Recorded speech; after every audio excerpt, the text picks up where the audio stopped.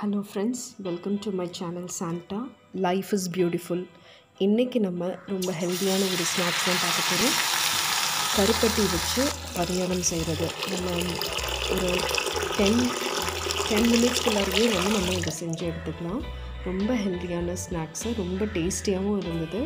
கட்டாயமாக ட்ரை பண்ணி பாருங்கள் அதுக்கு முன்னாடி ஃபர்ஸ்ட் டைம் என்னோடய சேனல் பார்க்குறீங்கன்னா சப்ஸ்கிரைப் பண்ண மறக்காதீங்க. பக்கத்தில் இருக்க பெல் ஐக்கான் ப்ரெஸ் பண்ணிக்கோங்க. அப்போ தான் நான் போடுற வீடியோஸோட நோட்டிஃபிகேஷன் உங்களுக்கு வரும். இதுக்கு என்னென்ன பொருட்கள் தேவை அப்படின்னு பார்க்கலாம். பச்சை அரிசி ஹாஃப் கப் எடுத்திருக்கேன். எந்த அரிசியாக இருந்தாலும் பரவாயில்ல. அரை கப் இட்லி அரிசி எடுத்திருக்கேன். கால் கப் உளுந்து எடுத்திருக்கேன். கால் கப் உளுந்து எடுத்திருக்கேன். இது மூணுத்துமே வந்து நல்லா சோக் பண்ணி வைங்க. ஒரு டூ ஹவர்ஸ்க்கு நல்லா சோக் பண்ணி வைங்க.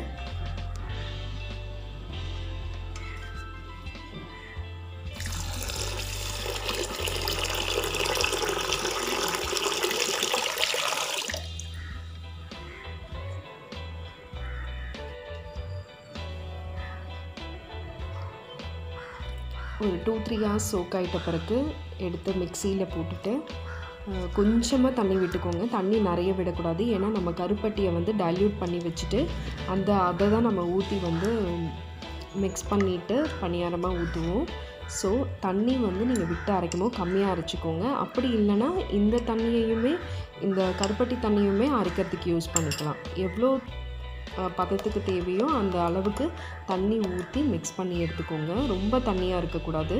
தேவையான அளவு உப்பு ஒரு கால் ஸ்பூன் சோடா மாவு போட்டுக்கோங்க. ஏன்னா நம்ம உடனே செய்கிறதுன்றதுனால தான் நம்ம அந்த சோடா மாவு போடுறது. இல்லை அது கொஞ்சம் ஃபர்மெண்ட் ஆகிட்ட பிறகு நம்ம செய்கிறோம் அப்படின்னா சோடா மாவு வந்து தேவை கிடையாது.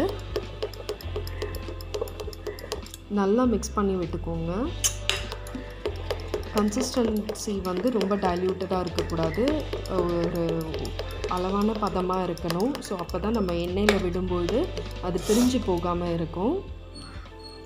அதுக்கப்புறம் கொஞ்சம் சாதா கருப்பட்டியில் பணியாரம் வச்சேன். அதுக்கப்புறமா பழமும் போட்டு அதில் பிசைஞ்சு அதையும் தனியாக வந்து பணியாரமாக செஞ்சு எடுத்துக்கிட்டேன். ரெண்டுமே ரொம்ப டேஸ்ட்டாக இருந்தது. நார்மலை விட பழம் போட்டது கொஞ்சம் இன்னும் கொஞ்சம் ஃப்ளேவர்டாக இருந்தது.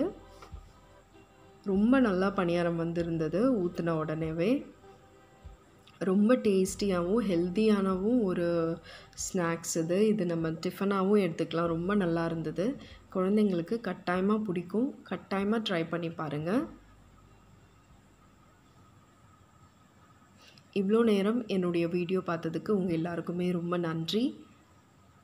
இது வந்து ரொ எண்ணெய் நிறைய வேண்டாம் அப்படின்னு யோசிச்சிங்கன்னா தவால போட்டு தோசை மாதிரி கொஞ்சமாக எண்ணெய் விட்டு எடுத்துக்கோங்க. அதுக்கான கொஞ்சம் பொறுமையாக இருக்கணும். ஏன்னா அது நல்லா வெந்து வர வரைக்கும் கொஞ்சம் பொறுமையாக இருக்கணும்.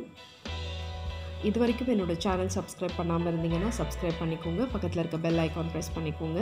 தேங்க்ஸ் ஃபார் வாட்சிங்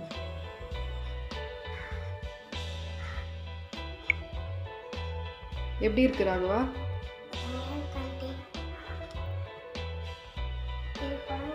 செஞ்சு கொடுங்க. இதை குழந்தைங்க